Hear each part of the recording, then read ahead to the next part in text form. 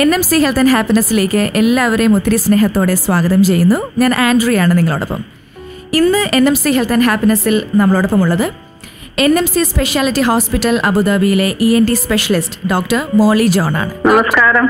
Okay doctor. Doctor ആദ്യമായിട്ടാണ് N M C health and ഹാപ്പിനെസ്സിൽ എത്തുന്നത്. അതെ അതെ അതെ. ഡോക്ടർ ഇപ്പോൾ N M C speciality hospital അബുദാബിയിൽ വർക്ക് ചെയ്യാൻ തുടങ്ങിയിട്ട് എത്ര നാളുകളായി? കറക്റ്റ് ഈ മെയിൽ സിക്സ്റ്റീൻ ഇയേഴ്സ് ആവും. സിക്സ്റ്റീൻ ഇയേഴ്സ് സിക്സ്റ്റീൻ ഇയേഴ്സ് ആയിട്ടപ്പോ ഇവിടെ.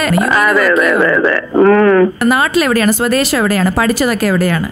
ഞാൻ സ്വദേശം എറണാകുളത്താണ് എന്റെ പാലാരിവട്ടം. ഓക്കെ. ഞാൻ എം ബി ബി എസ് ചെയ്തത് T D M C ആലപ്പിയിലാണ്. Diploma in E N T ചെയ്തത് Saint John's medical college Bangalore. അതിനുശേഷം M S E N T and ഡിപ്പെൻഡി from M M C Madras കുറച്ചു നാൾ ചാലക്കുടി സെയിന്റ് ജെയിംസിൽ വർക്ക് ചെയ്തിരുന്നു. പിന്നെ ഞങ്ങൾ കുറെ നാൾ സൗദിയിൽ വർക്ക് ചെയ്തു. അതിനുശേഷമാണ് ഇവിടെ വന്നത് യു എയിൽ ഓക്കെ ഡോക്ടർ അപ്പൊ ഇന്ന് നമ്മൾ എടുത്തിരിക്കുന്ന ടോപ്പിക് സൈനസ് ആൻഡ് അലർജി ഇതാണ്. അതെ നല്ല ടോപ്പിക് ആണല്ലോ. കാരണം എനിക്ക് തോന്നുന്നു നമ്മുടെ ലിസണേഴ്സിനും ഇത് കേൾക്കാനും അറിയാനും ഒക്കെ ഒരു ഇൻട്രസ്റ്റ് ഉണ്ടാവും. അതുകൊണ്ടാണ് അതെ അതെ അതെ. വളരെ വളരെ കോമൺ റെലവെന്റ് ടോപ്പിക് ഡോക്ടർ നമുക്ക് സൈനസിൽ നിന്ന് തന്നെ സ്റ്റാർട്ട് ചെയ്യാം. എന്താണ് സൈനസ് ഒന്ന് വിശദീകരിക്കാമോ? ഇത് സാധാരണ പേഷ്യൻസിനെല്ലാം ഉള്ള ഒരു സംശയമാണ്. സൈനസസ് എന്ന് പറഞ്ഞാൽ നമ്മുടെ എല്ലാവരുടെയും മൂക്കുമായി ബന്ധപ്പെട്ട് സ്ഥിതി ചെയ്യുന്ന എല്ലുകൾക്കുള്ളിലെ വായുറകൾ. അഥവാ എയർ സ്പേസസ് ആണ് അവയെ പാരാനേസൽ സൈനസസ് അതായത് മൂക്കുമായിട്ട് സംബന്ധമായിട്ട് കിടക്കുന്നത് അതുകൊണ്ട് പാരാനേസൽ സൈനസസ് ഓർ സൈനസസ് എന്ന് വിളിക്കുന്നു ഓക്കെ അവയുടെ പ്രത്യേകത എന്ന് പറഞ്ഞാൽ ഇവയിലെ വായു ചെറിയ നാളങ്ങൾ വഴി ഓരോ ശ്വാസോച്ഛ്വാസത്തിലും മൂക്കിലെ വായുപഥവുമായി ഇടകലരുന്നുണ്ട്. അതുപോലെ തന്നെ അവയിലെ ലോലമായ പടലം അഥവാ മ്യൂക്കസ് ലൈനിങ് മൂക്കിന്റെ തുടർച്ചയായും സ്ഥിതി ചെയ്യുന്നു. ചുരുക്കി പറയുകയാണെങ്കിൽ മൂക്കിൽ വരുന്ന ഏത് അവസ്ഥയും സൈനസിനെ ബാധിക്കാം. പ്രായപൂർത്തിയായ ഒരാൾക്ക് നാല് ജോഡി സൈനസസ് ആണ് ഉള്ളത് അതായത് അവ ഉൾപ്പെട്ട തലയോട്ടിയിലെ എല്ലിന്റെ പേരിലാണ് അവ അറിയപ്പെടുന്നത്. ഉദാഹരണമായി കവിളില്ലേ അതായത് നമ്മുടെ ചീക്ക് ബോൺസ് അതിലുള്ളവയെ മാക്സിലറി സൈനസസ് എന്ന് പറയും. നെറ്റിയുടെ ഭാഗത്തുള്ളവ ഫ്രോണ്ടൽ സൈനസസ് ഇത് സാധാരണ അഡൽട്ട് പേഷ്യൻസിൽ എപ്പോഴും അവർ വേദനയായിട്ട് വരാറുണ്ട്. കണ്ണുകൾക്കിടയിലുള്ളവ എക്കമോയിഡൽ ഗ്രൂപ്പാണ് ഓക്കെ അതുപോലെ തന്നെ മൂക്കിന്റെ പുറകിലുള്ള എല്ലിൽ അതായത് സ്പിനോയിഡ് സ്പിനോയിഡ് എല്ലിനകത്തുള്ളതിൽ സ്പിനോയിഡ് സൈനസ് എന്ന് പറയും. പൂർണ വളർച്ചയുള്ള അതായത് ഒരു പ്രായപൂർത്തിയായ ഒരാൾക്ക് ഒരു എയ്റ്റീൻ ട്വന്റി ഇയേഴ്സിലായി ഈ സൈനസസ് പൂർണമായ വളർച്ച പൂർണമായ ഒരു വളർച്ചയിൽ എത്തുന്നുള്ളൂ. കുഞ്ഞു കുട്ടികളിൽ എത്മാഡൽ ഗ്രൂപ്പ്സ് വളരെ നന്നായിട്ട് ഡെവലപ്പ് ചെയ്ത് കാണുന്നുണ്ട്.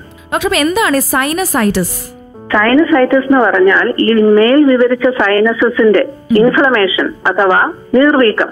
അതായത് സൈനസൈറ്റിസ് സൈനസിൽ ഉണ്ടാകുന്ന ഒരു രോഗാവസ്ഥയാണ്. പലർക്കും ഒരു കൺഫ്യൂഷൻ ഉണ്ട്. എനിക്കൊന്ന് ഡോക്ടറിന് എന്നെ അനുഭവം കാണുമായിരിക്കും. വന്ന് പറഞ്ഞിട്ടുണ്ടാവും ആരെങ്കിലും ഒക്കെ എനിക്ക് സൈനസ് ആണ് സൈനസൈറ്റിസ് ആണ്. അതുകൊണ്ടാണ് ഞാൻ അങ്ങനെ എടുത്ത് ചോദിച്ചത്. ആ അതെ അതെ. അത് അതായത് സൈനസ് എന്ന് പറയുന്നത് that is a natural component of our anatomy okay പക്ഷേ അതിനകത്ത് വരുന്ന രോഗാവസ്ഥയാണ് നമ്മൾ സൈനസൈറ്റിസ് എന്ന് പറയുന്നത്.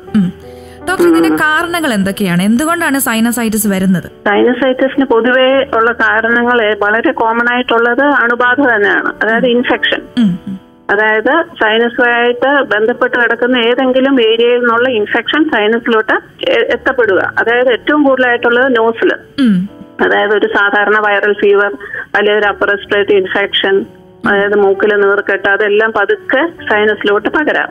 മുഗൾ മുകൾ മോണയിലെ യോ പല്ലിലെയോ ഇൻഫെക്ഷൻസ് മാക്സിലറി സൈനസിലോട്ട് പകരാവുന്ന. പിന്നെ ദീർഘനാളായിട്ട് അലർജി ഉള്ളവർ അതായത് ഈ ഡസ്റ്റ് ഫ്യൂംസ് കെമിക്കൽസ് സ്മോക്കേഴ്സ് അങ്ങനെയുള്ളവരിലൊക്കെ അലർജിക് ടെൻഡൻസി കൂടുതലായിട്ട് കാണുന്നു. അങ്ങനെയുള്ളവർക്ക് സ്ഥിരമായിട്ട് മൂക്കിൽ അടപ്പും തുമ്മലും ഒക്കെ ഉള്ളപ്പോൾ പെട്ടെന്ന് അത് സൈനസിനെ ബാധിക്കാം. പിന്നെ മൂക്കിലെ ഘടനയിലെ സ്ഥിരമായിട്ടുള്ള വ്യതിയാനങ്ങൾ അതായത് പാലത്തിന്റെ വളവ് ദശ വളർച്ച ഫ്രാക്ചേഴ്സ് ക്ഷതങ്ങൾ. അതെല്ലാം സൈനസുമായിട്ട് പ്രിഡിസ്പോസ് ചെയ്യാം പിന്നെ കുഞ്ഞുങ്ങളിൽ മൂക്കിൽ അറിയപ്പെടാതെ അകട്ട് അകപ്പെട്ടു പോകുന്ന ഫോറിൻ ബോഡീസ് അത് കൊച്ചു കുഞ്ഞുങ്ങളിൽ വളരെ ഒരു കോമൺ കോസ് ആയിട്ട് കാണുന്നുണ്ട്. പിന്നെ ചില പ്രൊഫഷണൽസിൽ അതായത് പെട്ടെന്നുണ്ടാവുന്ന അന്തരീക്ഷ മർദ്ദത്തിലെ വ്യതിയാനം. അതായത് ഡീപ് ഡൈവേഴ്സ് പിന്നെ മൂക്കടപ്പോടുകൂടി വിമാനയാത്ര ചെയ്യുന്നവർ ഫ്രീക്വന്റ് ഫ്ലയേഴ്സ് അവരിലെല്ലാം ഈ ബാരോട്രോമ അതായത് അന്തരീക്ഷ മർദ്ദത്തിലെ വ്യതിയാനം കൊണ്ടുള്ള ബ്ലോക്കേജ് വന്നിട്ട് സൈനസ് ഇൻഫ്ലമേഷൻ വരാം. പിന്നെ കുറച്ച് സിവിയർ ആയിട്ടുള്ള ഒരു ഫോം ഓഫ് സൈനസൈറ്റിസ് ഈ പ്രതിരോധ ശക്തി കുറഞ്ഞിരിക്കുന്നവർക്ക് അതായത് നിയന്ത്രണാതീതമല്ലാത്ത പ്രമേഹം തിറോയിഡ് തെറാപ്പി കീമോതെറാപ്യൂട്ടിക് അതായത് ക്യാൻസർ ട്രീറ്റ്മെന്റ് എടുത്തിരിക്കുന്നവർ എയ്ഡ്സ് രോഗികൾ അവരിലൊക്കെ ഈ ഫംഗസ് മാരകമായ പൂപ്പൽ മൂലമുള്ള സൈനസൈറ്റസും കണ്ടുവരുന്നു. അതെല്ലാം പക്ഷെ വളരെ വിരളമാണ്. ഇതൊക്കെയാണ് പൊതുവേ സൈനസ് ആയിട്ടുള്ള കോസസ് ഓക്കെ നമ്മൾ ഒരു അതായിട്ട് പറയാറുണ്ട് if your nose is silent your sinus will not give you any problem ഓ അത് ശരി. ഓക്കെ ഡോക്ടർ അപ്പോൾ ഇവിടെ യു എയിൽ എങ്ങനെയാണ് ഡോക്ടർ ഒരു സൈനസൈറ്റിസ് അല്ലെങ്കിൽ അലർജി ഒക്കെ കൂടുതലായിട്ട് തോന്നിയിട്ടുണ്ടോ? അതെ അതെ അതെ അതെ. നമ്മുടെ നാട്ടിലെ കേസ് വെച്ച് നോക്കുകയാണെങ്കിൽ യു എയിൽ allergic ടെൻഡൻസീസും especially nasal allergy skin allergy asthmatic attacks അതെല്ലാം വളരെ കോമൺ ആയിട്ട് കാണുന്നു. ബിക്കോസ് ഇവിടുത്തെ ഡെസേർട്ട് കാലാവസ്ഥയാവാം. നമ്മുടെ മൂക്കിനൊട്ടും ഫ്രണ്ട്ലി അല്ലാത്ത എയർ ആയിരിക്കാം. അങ്ങനെ പല കാരണങ്ങളും ഉണ്ട്. അത് അറൌണ്ട് ഒരു twenty percent incidence twenty to forty വേണേ പറയാം. Incidence of allergy cases sinusitis ആയിട്ട് പ്രസന്റ് ചെയ്യുന്നുണ്ട്. ഓക്കെ ഡോക്ടർ സൈനസൈറ്റിസിനെ എങ്ങനെ തരം തിരിക്കാനായിട്ട് സാധിക്കും നല്ല ക്വസ്റ്റ്യൻസ് ആണല്ലോ Andrea thank you doctor classification പറയുകയാണെങ്കിൽ നമുക്ക് പല വിധത്തിൽ തരംതിരിക്കാം. പൊതുവെ കാലയളവ് അനുസരിച്ച് അതായത് ഡ്യൂറേഷൻ എത്ര നാളായി ഈ സൈനസ് അതായത് പഴയതാണോ പുതിയതാണോ അതോ ഇടം ഇടംകാലത്തോണ്ടാണോ. അതനുസരിച്ച് നമുക്ക് തരംതിരിക്കാം. അങ്ങനെ വരുമ്പോൾ എക്യൂട്ട് അതായത് അധികം കാലതാമസം ഇല്ലാത്ത ഫോർ ടു സിക്സ് വീക്സിനകം ഉള്ള ഉള്ള നമ്മളതിനെ അക്യൂട്ട് എന്ന് പറയും. ക്രോണിക് അതായത് പഴകിപ്പോയ സൈനസൈറ്റിസ് എന്ന് പറയുന്നത് മൂന്ന് മാസം. മൂന്ന് മാസത്തിൽ കൂടുതൽ ഒരാളെ ശല്യപ്പെടുത്തുന്ന സൈനസ് ക്രോണിക് ആവും. ഇതിന് രണ്ടിലും ഇടയ്ക്കുള്ളതാണ് ഒരു സബ് അക്യൂട്ട് അതായത് നാല് തൊട്ട് ആറാഴ്ച തൊട്ട് മൂന്ന് മാസം വരെയുള്ളത് നമ്മൾ സബ് അക്യൂട്ട് ആയിട്ട് എടുക്കും. ഇതിൽ ക്രോണിക് ആയിട്ട് നമുക്ക് സിസ്റ്റം വരുന്നത് അതായത് നമ്മൾ ശരിക്കും ഇൻവെസ്റ്റിഗേറ്റ് ചെയ്യണം. എന്തുകൊണ്ട് ഇത് കുറയുന്നില്ല എന്നുള്ള ഇൻവെസ്റ്റിഗേഷൻസ് വേണ്ടിവരും അതൊന്ന്. പിന്നെ ഏത് ഗ്രൂപ്പ് ഓഫ് സൈനസസ് ആണ് എഫക്റ്റഡ്? അതനുസരിച്ച് നമുക്ക് ക്ലാസിഫൈ ചെയ്യാം. അത് മാക്സിലറി ആണോ എത്മോയിഡ് ആണോ സീനോയിഡ് ആണോ അങ്ങനെ. പിന്നെ രോഗകാരണം അനുസരിച്ച് ഒരു ക്ലാസിഫിക്കേഷൻ ഉണ്ട് അതായത് വൈറൽ ഇൻഫെക്ഷൻ ആണോ ബാക്ടീരിയൽ ആണോ അതോ ഫംഗസ് ആണോ അങ്ങനെയുള്ളത് അല്ലെങ്കിൽ നോൺ സ്പെസിഫിക് അതായത് അലർജി അങ്ങനെയുള്ള കാരണങ്ങൾ. പിന്നെ നാലാമതൊരു ക്ലാസിഫിക്കേഷൻ പറയുന്നത് ഇതൊരു സിമ്പിൾ അതായത് ഗുരുതരാവസ്ഥ ഓഫ് ദ കണ്ടീഷൻ. അതായത് അത് സിമ്പിൾ ആണോ അതോ കോംപ്ലിക്കേറ്റഡ് ആണോ എന്നുള്ളത്. അതാണ് complicated or uncomplicated or simple science ഇങ്ങനെയാണ് നമ്മൾ പൊതുവെ തരംതിരിക്കുന്നത്. ഡോക്ടർ അപ്പൊ എന്തായാലും നമുക്ക് ഇതിനെക്കുറിച്ച് കൂടുതൽ ഇനിയും ഒരുപാട് കാര്യങ്ങൾ ഡോക്ടറിന്റെ അടുത്ത് നിന്ന് അറിയാനായിട്ടുണ്ട്. പക്ഷേ ഒരു ചെറിയ ബ്രേക്കിലേക്ക് നമ്മൾ പോവാണ്. Okay fine fine welcome back to N M C health and happiness ഇന്ന് N M C health and ഹാപ്പിനെസ്സിൽ നമ്മളോടൊപ്പം ഉള്ളത് ഡോക്ടർ മോളി ജോൺ ആണ്. N M C speciality hospital അബുദാബിയിലെ ഇ എൻ ടി സ്പെഷ്യലിസ്റ്റ് ആണ് ഡോക്ടർ മോളി ജോൺ. ഡോക്ടർ നമ്മളിപ്പോൾ നേരത്തെ ബ്രേക്കിലേക്ക് പോകുന്നതിന് മുൻപായിട്ട് സൈനസൈറ്റിസ് എന്നെ കുറിച്ച് ഡോക്ടർ ഡീറ്റെയിൽഡ് ആയിട്ട് പറഞ്ഞു. പിന്നെ അതെങ്ങനെയാണ് അതിന്റെ ക്ലാസിഫിക്കേഷൻസ് അത് പറഞ്ഞു അതിന്റെ കാരണങ്ങൾ പറഞ്ഞു. ഇനി ഞങ്ങൾക്ക് അറിയാനായിട്ടുള്ളത് ഇതെങ്ങനെയാണ് പ്രസന്റ് ചെയ്യുന്നത്? ഇതിന്റെ സിംറ്റംസ് എന്തൊക്കെയാണ്? പതിവായി സാധാരണ ഒരു വെറും കോൾഡ് സിംറ്റം ആയിട്ട് തുടങ്ങാം. അതായത് തുമ്മൽ ചീറ്റൽ മൂക്കടപ്പ് അങ്ങനെ. പതിയെ അത് മൂക്ക് ക്ലിയർ ആവുന്നില്ലെങ്കിൽ തലവേദന തലയ്ക്ക് ഭാരം കഫക്കെട്ട് സെൻസ് ഓഫ് സ്മെല്ല് കുറയുക പിന്നെ ഈ പിൻമൂക്കിലൂടെ നമ്മുടെ മൂക്ക് മുൻവശം തുറന്ന പോലെ തന്നെ പുറകിലും തുറന്നല്ലേ ഇരിക്കുന്നത് അതെ അതെ. അണ്ണാക്കിലോട്ട് മൂക്ക് തുറന്നായിരിക്കുന്നത് അപ്പൊ പിൻമൂക്കിലൂടെയുള്ള കഫനിറങ്ങൽ പിന്നെ കുറച്ചുകൂടെ കഴിഞ്ഞാൽ ചിലപ്പോൾ പനി ക്ഷീണം കൈകാൽമുട്ട് വേദന അങ്ങനെയൊക്കെ ഉള്ള ലക്ഷണങ്ങൾ. കുറച്ചുകൂടെ പഴകിയാൽ ഈ പഴുപ്പ് ഇറങ്ങുന്ന സ്ഥലങ്ങൾ മുഴുവൻ അത് ഇൻഫെക്ട് ചെയ്യാൻ തുടങ്ങും. അതായത് താഴോട്ട് തൊണ്ടവേദന ചുമ പിന്നെ ഈ ചെവി അടപ്പ് ചെവി വേദന ബിക്കോസ് യൂസ്റ്റേഷൻ ട്യൂബ് നമ്മുടെ മൂക്കിന്റെ പുറകിലാണ് ഉറങ്ങുന്നത് തുറന്ന് കിടക്കുന്നത്. അപ്പൊ അങ്ങനെ ഇൻഫെക്ഷൻ വരാം. അതൊക്കെയാണ് പതിവെ സിമ്പിൾ ആയിട്ടുള്ള സൈനസൈറ്റിസിന്റെ രോഗലക്ഷണങ്ങൾ ഡോക്ടർ ഇപ്പൊ പറഞ്ഞല്ലോ തലവേദന എന്ന് പറഞ്ഞു അപ്പൊ എല്ലാ തലവേദനയും സൈനസൈറ്റിസ് കൊണ്ടാണോ? അങ്ങനെ നമുക്ക് ചിന്തിക്കാനായിട്ട് സാധിക്കും ഓ ഇല്ല ഇല്ല ഇല്ല ഇല്ല. ഒരിക്കലും ഇല്ല. എല്ലാ തലവേദനകളും സൈനസൈറ്റിസ് മൂലമാണ് നമ്മൾ പറയുന്നത് ശരിയല്ല. ബിക്കോസ് ചില കേസിൽ സൈനസൈറ്റിസ് ഉള്ള ആൾക്ക് തന്നെ അതിനോടനുബന്ധിച്ച് ചിലപ്പോൾ ഒരു മൈഗ്രെയിൻ കാണാം അല്ലെ ടെൻഷൻ ഹെഡ് ഏക്സ് കാണാം ന്യൂറാൾജിക് പെയിൻ കാണാം അല്ലെങ്കിൽ എന്തെങ്കിലും വേറെ ബ്രെയിനിന്റെ പ്രോബ്ലം കൊണ്ടുള്ള ഹെഡ് ഏക്ക് വരാം പക്ഷെ സൈനസൈറ്റിസ് കൊണ്ടുള്ള തലവേദന തീർച്ചയായിട്ടും ഒരു നേസൽ സിംറ്റമോ ഒരു ഫോക്കസ് ഓഫ് ഇൻഫെക്ഷനോ മൂക്കിന്റെ ലക്ഷണങ്ങളോ എല്ലാം കാണും യൂഷ്വലി സാധാരണഗതിയിൽ. കുട്ടികളുടെ കാര്യം നോക്കുകയാണെങ്കിൽ കുട്ടികളിൽ എങ്ങനെയാണ് സൈനസൈറ്റിസ് എങ്ങനെ ഈ അഡൽസിനെ വെച്ച് നോക്കുമ്പോൾ കുട്ടികളിലെ സൈനസൈറ്റിസ് എങ്ങനെ വ്യത്യാസപ്പെട്ടിരിക്കുന്നു? അത് ഒരു സാധാരണ ചോദിക്കുന്ന ഒരു ക്വസ്റ്റ്യൻ ആണ് കേട്ടോ ഈ നമ്മൾ ഞാൻ നേരത്തെ പറഞ്ഞല്ലോ സാധാരണ കുട്ടികൾക്ക് എല്ലാ ഗ്രൂപ്പ് ഓഫ് സൈനസസ് ഡെവലപ്ഡ് അല്ല. നമ്മളുടെ തലയും തലയോട്ടിയും വളരുന്ന അനുസരിച്ചാണ് ഈ സൈനസസ് വലുതാവുന്നതും ഡെവലപ്പ് ചെയ്യുന്നു. കുഞ്ഞു കുട്ടികൾക്ക് അതായത് ഒരു സാധാരണ ഏഴ് എട്ട് വയസ്സ് വരെയുള്ള കുട്ടികൾക്ക് ഈ എക്മോയിഡൽ ഗ്രൂപ്പ് കണ്ണുകൾക്ക് മധ്യത്തിലുള്ള ഗ്രൂപ്പ്സ് ആണ് എഫക്റ്റഡ് ആവുന്നത്. അപ്പോൾ അവർ സാധാരണ തലവേദന കുട്ടികൾ പറയാറില്ല. ഒരു ലോകലക്ഷണമായിട്ട് അവർ പക്ഷെ യൂഷ്വലി കട്ടിയുള്ള മൂക്കിലെ കവക്കെട്ട് വായിലെ ദുർഗന്ധം കണ്ണിന് ചുറ്റുമുള്ള നീർക്കെട്ട് പിന്നെ നേരിയ തോതിലുള്ള പനി. കുഞ്ഞുങ്ങൾ സാധാരണ ലക്ഷണങ്ങളൊന്നും കാണി പറയാറില്ല. പക്ഷെ പേരൻസ് അത് ശ്രദ്ധിച്ച് ഒബ്സർവ് ചെയ്താൽ നമുക്ക് മനസ്സിലാവും. ഏർലി സ്റ്റേജിൽ പിന്നെ രാത്രി കിടക്കുമ്പോൾ കിടക്കുന്ന ചുമ ബിക്കോസ് ഈ മൂക്ക് പുറകോട്ട് ഒലിച്ചുകൊണ്ടേയിരിക്കും. പിന്നെ പെട്ടെന്ന് കുട്ടികൾക്ക് ചെവിയിലോട്ട് ഇൻഫെക്ഷൻ പകരും. യൂഷ്വലി സൈനസിന്റെ ലക്ഷണത്തിൽ അവർ ചെവി വേദനയായിട്ട് രാത്രിയിൽ ഞെട്ടി ഉണർന്ന് കരയുക ചെവിന്ന് പഴുപ്പ് ഇറങ്ങുക അതൊക്കെ ആയിട്ടും പ്രസന്റ് ചെയ്യാം. പിന്നെ വളരെ ഇമ്പോർട്ടന്റ് ആയിട്ടുള്ള ഒരു കാര്യം ഒരു മൂക്കിൽ കൂടി മാത്രം ഒലിച്ചിറങ്ങുന്ന ദുർഗന്ധത്തോടെയുള്ള പഴുപ്പും അടപ്പും ഒക്കെ ഉണ്ടെങ്കിൽ കുഞ്ഞുങ്ങൾ അറിയാതെ ചിലപ്പോൾ മൂക്കിൽ എന്തെങ്കിലുമൊക്കെ നേരത്തെ ഇട്ട് ഫോറിൻ ബോഡീസ് ഇട്ട് കാണണം. ഇട്ട് കാണാം. അത് എപ്പോഴും നമ്മൾ എക്സ്ക്ലൂഡ് ചെയ്യണം. അത് പേരൻസ് ശ്രദ്ധിക്കണം. പിന്നെ സ്കിൻ അലർജി ഉള്ള കുഞ്ഞുങ്ങൾ ആസ്പിരിൻ അലർജി ഉള്ള കുഞ്ഞുങ്ങൾ ആസ്മാറ്റിക് അറ്റാക്ക് ഉള്ള കുഞ്ഞുങ്ങൾ അവർക്കെല്ലാം അലർജിക് ടെൻഡൻസി നോസിൽ അലർജിക്ക് ടെൻഡൻസി കൂടുതലാണ്. അപ്പൊ അവർക്ക് കുറച്ചുകൂടി ചാൻസ് ഉണ്ട് സൈനസ് ഇൻഫ്ലമേഷൻ വരാൻ. അങ്ങനെ ഒരു ചെറിയ വ്യത്യാസമുണ്ട് കുഞ്ഞുങ്ങളുടെ സൈനസൈറ്റിസ് കുഞ്ഞുങ്ങൾക്ക് അവരുടെ രോഗലക്ഷണം ശരിക്കും പറയാൻ കഴിയണമെന്നില്ല. സൈനസൈറ്റിസ് ആസ്മ ആൻഡ് അലർജി ഇത് മൂന്ന് തമ്മിൽ എന്തെങ്കിലും ബന്ധമുണ്ടോ? എന്തുകൊണ്ടെന്ന് വെച്ചാൽ ഈ ലിഖിതമായിട്ടുള്ള നിയമങ്ങളൊന്നും ഇല്ലെങ്കിലും സ്റ്റാറ്റിസ്റ്റിക്സ് കാണിക്കുന്നത് വളരെ അടുത്ത ബന്ധമുണ്ടെന്ന് തന്നെയാണ്. Because around forty to sixty percent of asthmatic പേഷ്യൻസ്ക്ക് nasal allergy ഉണ്ട്. നേസൽ അലർജി കുറച്ച് പഴകി നിൽക്കുമ്പോൾ അത് സൈനസൈറ്റിസ് ആവാം അത് ബന്ധം ഉണ്ടെന്ന് തന്നെ പറയാം നമുക്ക്. ബിക്കോസ് നോസ് എന്ന് പറയുന്നത് ലോവർ റെസ്പിറേറ്ററി ട്രാക്ടിന്റെ ഫസ്റ്റ് സെന്റർ അല്ലേ? മൂക്കിലെ എയർവേ തന്നെയാണ് താഴോട്ട് ചെസ്റ്റിലോട്ട് പോകുന്നത്. എന്ന് പറഞ്ഞാൽ ഈ ആസ്മയുള്ള എല്ലാവർക്കും സൈനസൈറ്റ് വരണമെന്നൊന്നുമില്ല.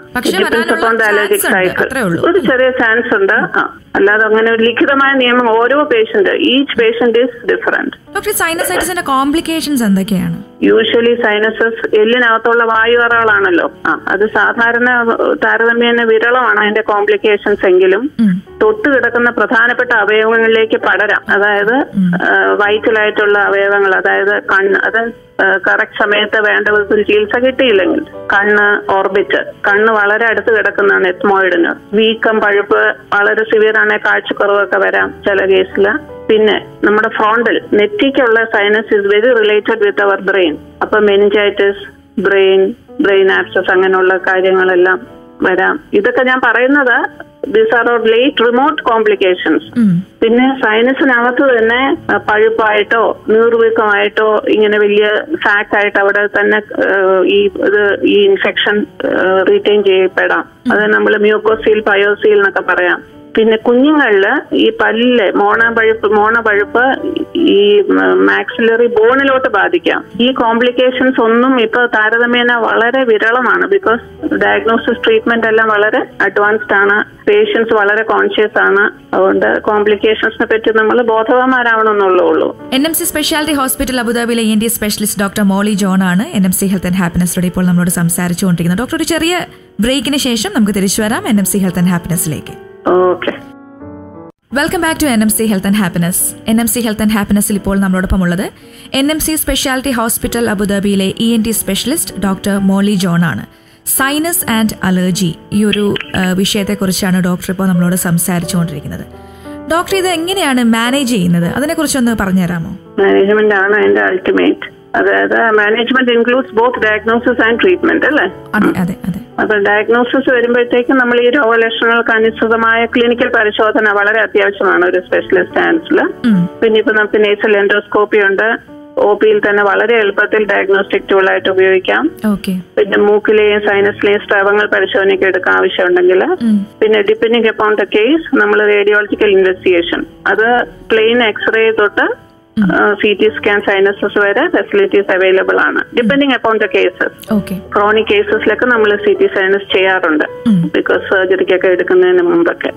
പ്രഗ്നന്റ് ലേഡീസ് ചിൽഡ്രനിൽ എം ആർ ഐ ആണ് പ്രിഫർ ചെയ്യുന്നത് because it to reduce the risk of radiation പക്ഷെ നമ്മൾ കഴിയുന്നതും അനാവശ്യമായിട്ട് റേഡിയോളജിക്കൽ ഇൻവെസ്റ്റിഗേഷന്റെ ആവശ്യമില്ല. പക്ഷെ ഇൻഡിക്കേറ്റഡ് കേസസിൽ അത് ചെയ്തേ പറ്റൂ. ട്രീറ്റ്മെന്റ് എന്ന് പറയുന്നത് രോഗത്തിന്റെ പഴക്കവും സങ്കീർണതയും എല്ലാം അനുസരിച്ചാണ്. അത് മെഡിക്കൽ ആൻഡ് സർജിക്കൽ അങ്ങനെ രണ്ടായിട്ട് നമുക്കത് ഡിവൈഡ് ചെയ്യാം.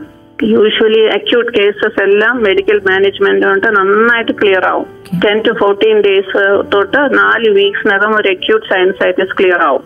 അതായത് മൂക്കിൽ നന്നായിട്ട് മൂക്കിലോട്ട് ഒലിച്ചിറങ്ങി അത് ക്ലിയർ ആവും. അതായത് local nasal douches antibiotic supportive symptomatic എല്ലാം കൊടുക്കാറുണ്ട് ആസ് പെർ ദ ഇൻഡിക്കേഷൻ പിന്നെ ക്രോണിക് കേസസ് ആൻഡ് കോംപ്ലിക്കേറ്റഡ് കേസസിൽ നമുക്ക് മെഡിക്കൽ മാനേജ്മെന്റ് മാത്രം സഫിഷ്യന്റ് ആവണമെന്നില്ല അപ്പോഴാണ് നമ്മൾ സർജിക്കൽ ഹെൽപ്പ് അതിന്റെ കൂടെ നമ്മൾ യൂസ് ചെയ്യുന്നത്.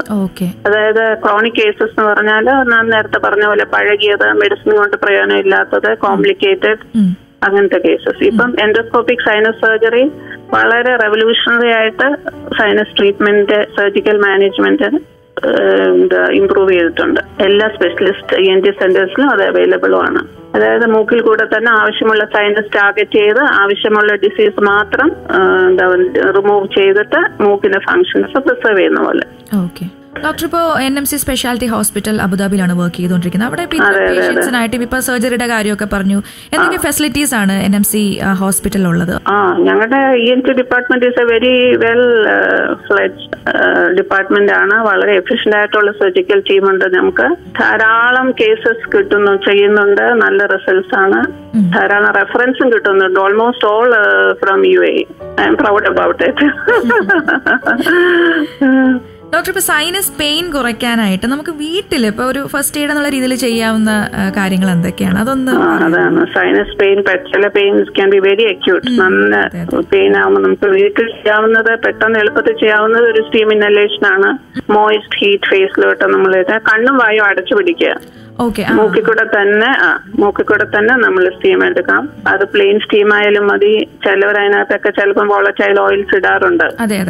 ഈ ഓൽബാസ് ഓയിൽ അല്ലെങ്കിൽ ഈ നമ്മുടെ നമ്മുടെ തിങ്ച ബെൻസോൻ അങ്ങനത്തെ ഒക്കെ ഒന്നും ഇല്ലെങ്കിലും നമുക്ക് സ്റ്റീം ഇസ് ഗുഡ് ഇനഫ് പിന്നെ avoid too much cold stimulus warm ആയിട്ട് ബോഡി വെക്കുക പരിസരം വോം ആയിട്ട് വെക്കുക. Increase the fluid intake western കൺട്രീസിലൊക്കെ അവർ ഹോം റെമഡി ആയിട്ട് വോം ചിക്കൻ സൂപ്പ് പറയുന്നുണ്ട്. അത് അതിന്റെ. അത് അതിന് അത് പറയുന്ന വെച്ചാൽ മാമാസ് റെസിപ്പി പോലെ. They say that this will help to മ്യൂക്കസിനെ dilute ചെയ്യാൻ this warm chicken soup is very good എന്ന്. അതും അതും വേണമെങ്കിൽ നമുക്കൊക്കെ ട്രൈ നമുക്ക് ട്രൈ ചെയ്യാവുന്നേ ഉള്ളൂ.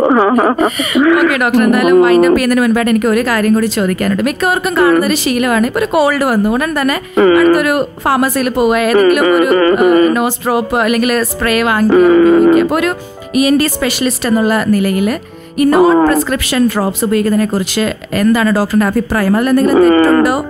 From the medical point of view I will never അത് ഒട്ടും എൻകറേജ് ചെയ്യുന്നില്ല.